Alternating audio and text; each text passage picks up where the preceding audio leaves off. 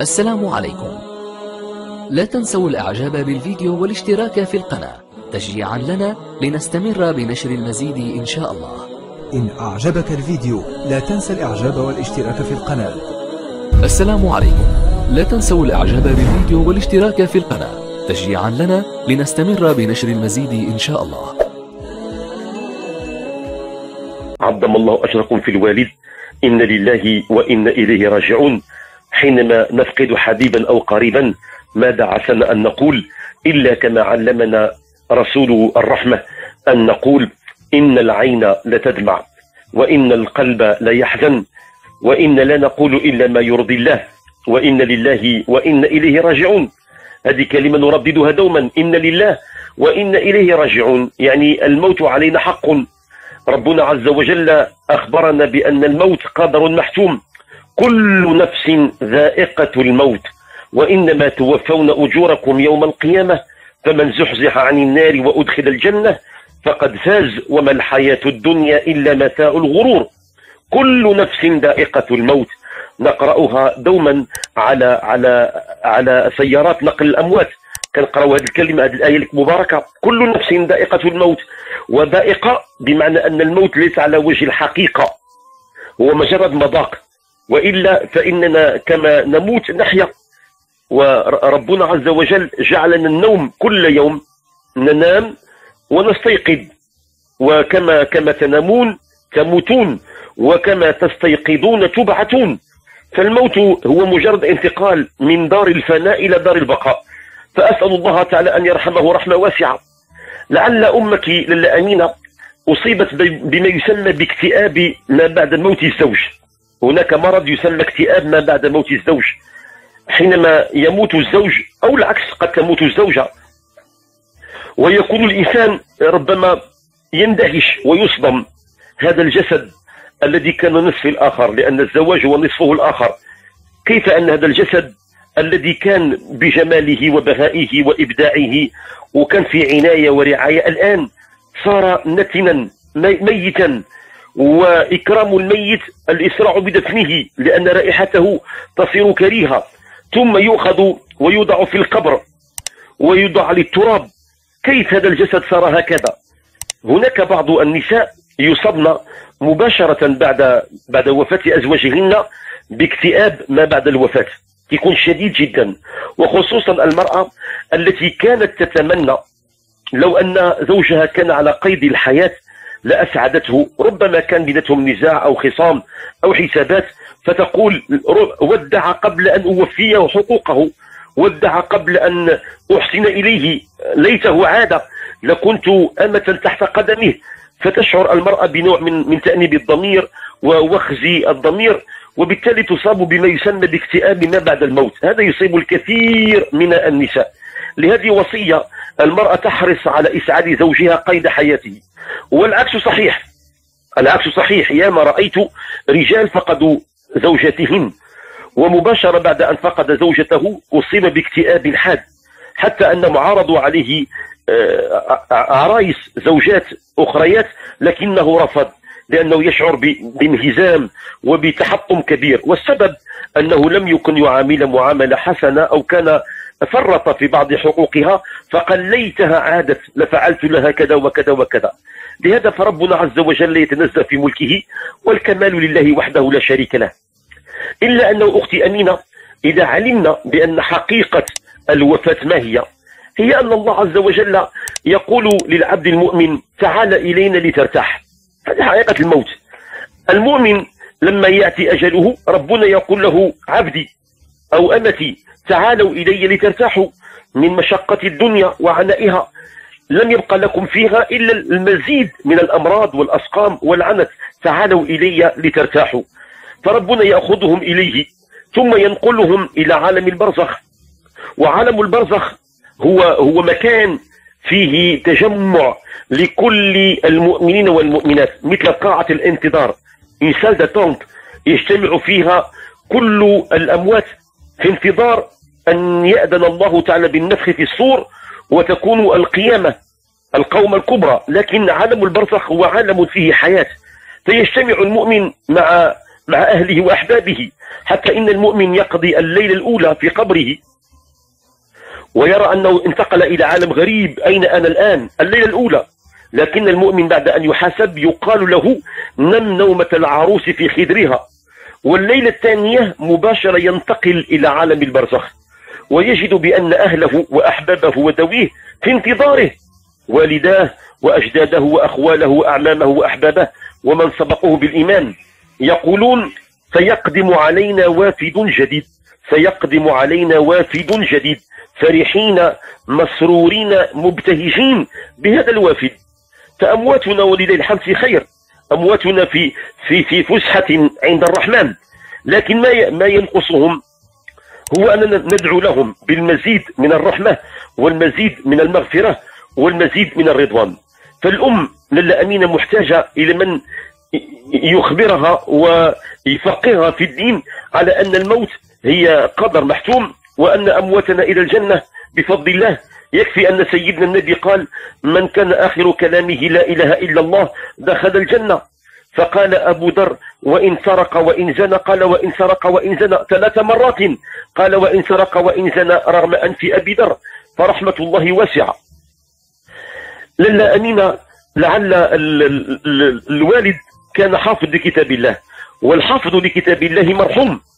الحافظ لكتاب الله مرحوم. لأنه يحمل كلام الله في صدره. وإذا دخل قبره تحاج عنه سورة الملك. وإذا كان في الصراط تحاج عنه آل عمران والبقرة. وإذا كان في المحشر يستظل بالبقرة وآل عمران وغيرها من الصور المباركة التي فيها أسرار إلهية. فربنا رحمن رحيم. بل إن الله تعالى يعطي للميت الحامل لكتاب الله الشفاعة. يشفع لعشر من أهل بيته. كلهم قد استوجبوا النار. حكمة بالغة أن الله تعالى جعل رغم الكورونا يتبعه أعداد كبيرة 150 نفر كما ذكرت. هذا من علامات الشهود. شهود الدنيا شهود الآخرة. رغم الكورونا ورغم الإجراءات الاحترازية والوقائية لكن هناك بعض الأخيار وبعض الأبرار جنائزهم تكون ملأة بالأحباب يستغفرون له ويشهدون له عند الله تعالى. رغم أن هذه فيها ضرر على مستوى آه، نقل الوباء لا قدر الله ولكن رحمة الله أوسع ومغفرته أكبر. فهذه علامة حسن الخاتمة. حتى إن الذي مات بجانبه وكان سكيرا من يدري لعل الله تعالى يكرمه بحسن الخاتمة. من يدري؟ لا أحد يدري. لأن الله تعالى هو علام الغيوب. كم من واحد كان فاسقا وكان فاجرا في الظاهر لكنه كان يعمل صالحا كان كان محبا للخير كان ينفق على الفقراء والمساكين كان يوثر آه، الآخرين عن نفسه كان يقدم الآخرين عن مصالحه. لعله كان ضارا بوالديه لعله كان صابرا محتسبا لعله يشرب الخمر. وأنا أعرف أعداد يشربون الخمر فرارا فرارا من النزاع لأنهم كثرت عليهم النزاعات وكثرت عليهم الابتلاءات فيفرون بعيدا يشربون الخمر ويطلبون من الله العفو والعافية. فربنا سبحانه وتعالى على كل شيء قدير.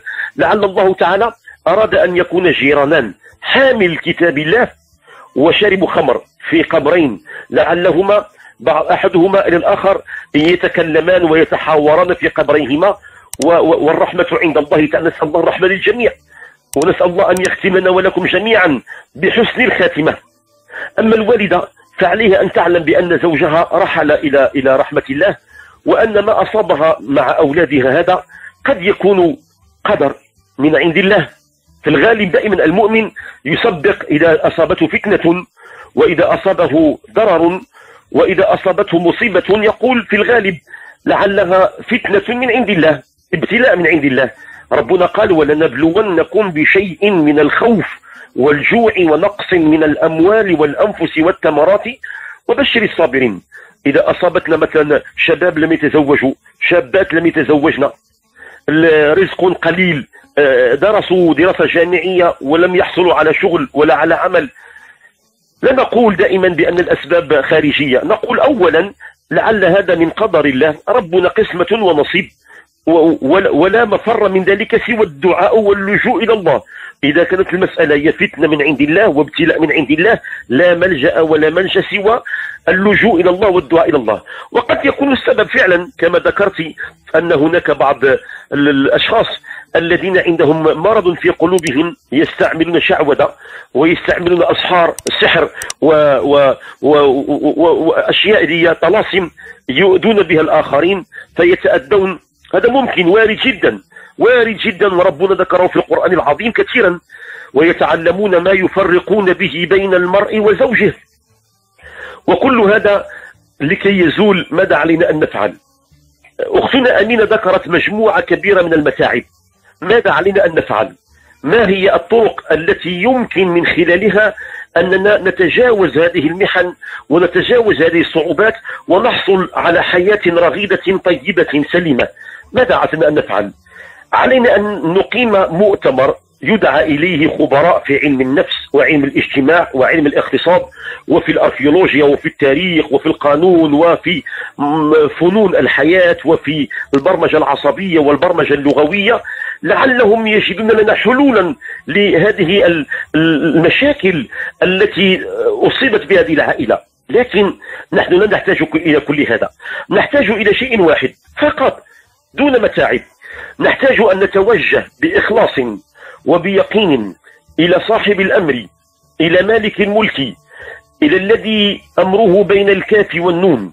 إذا قضى أمرا إنما يقول له كن فيكون. ونقول يا الله يا الله يا الله. يا ربنا إن هذه العائلة إنها عائلة رجل يحمل كتابك في صدره يحمل القرآن الكريم في صدره. وإن هذه العائلة تعاني متاعب الأب في القبر والأم طريحة الفراش والإخوة والأخوات في صراع. يا رحمن يا رحيم كرامة للقرآن العظيم الذي في صدر يا رب هذه الآية. اللهم اجمع شملهم أجمعين. يا رب أنت طبيبهم وأنت معالجهم وأنت كفيلهم وأنت مداويهم. اللهم إنا نسألك باسمك العظيم الأعظم الذي إذا دعيت به أجبت وإذا سئلت به أعطيت أن تشمل هذه العائلة. أما وأولادا وبنات وحفدة أن تشملهم برحمتك وتشملهم بعافيتك وتشملهم بعنايتك وتشملهم برعايتك. اللهم يا رب اصرف عنهم الأمراض واصرف عنهم الهموم واصرف عنهم الغموم. اللهم يا رب يا كريم وفرج عنهم ما يجدونه. إن كان سحرا فأبطله. يا رب إن كان ما أصابهم سحر فأبطله. وقال موسى ما جئتم به السحر إن الله سيبطله. إن الله سيبطله. إن الله سيبطله. إن الله لا يصلح عمل المفسدين ويحق الله الحق بكلماته ولو كره المجرمون. وإن كان قد أصاب ما أصابهم مرض نفسي. فيه توتر وعداوة وبغضاء فيما بينهم. فاللهم أنت الطبيب فعالجهم. رب الناس أذهب الباس. رب الناس أذهب الباس. اشفي أنت الشافي. اشفي أنت الشافي. اشفي القلوب. واشفي الضمائر. واشفي ما في الصدور. اشفي أنت الشافي. لا شفاء إلا شفاؤك. اللهم عجل لهم بالشفاء التام. شفاء لا يغادر سقما ولا يبقي ألما. اللهم يا رب وارزقهم رزقا حسنا. ارزقهم رزقا طيبا رزقا كريما رزقا وفيرا وبدل حياتهم من حال إلى حال. لا حول ولا قوة إلا بالله العلي العظيم. لا حول ولا قوة إلا بالله العلي العظيم. لا حول ولا قوة إلا بالله العلي العظيم. لا تحول من حال إلى حال إلا بقوة دافعة من عند الله. اللهم يا رب بدل حالهم إلى أحسن حال. صحة وعافية وبركة ورزقا وسعدا. قولوا معنا جميعا آمين. آمين آمين. يا رب يك السلام عليكم. لا تنسوا الإعجاب بالفيديو والاشتراك في القناة. تشجيعا لنا لنستمر بنشر المزيد إن شاء الله.